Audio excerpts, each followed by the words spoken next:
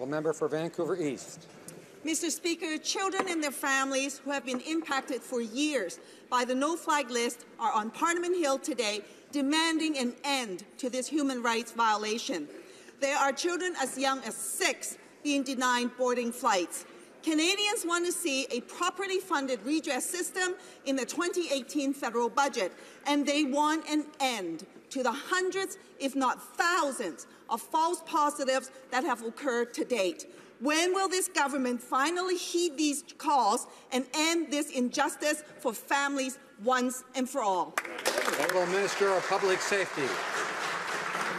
Mr. Speaker, we fully appreciate the frustration of law-abiding travellers who can be stigmatized and delayed as a result of false positives on the no-fly list. But to be clear, there are no children on the no-fly list, but there is confusion among similar names.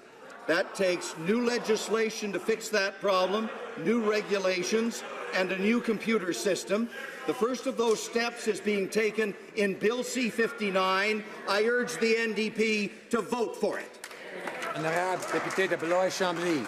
Well, Mr. Speaker, Bill C-59, as those parents said today at their press conference, does nothing to fix the problem nothing, they face yeah, every right. single time they try and travel. And I'd ask the minister if he wants to go in front of those families and tell them, don't worry, your child's not on the list. These are the false positives that are being lived by thousands of Canadians.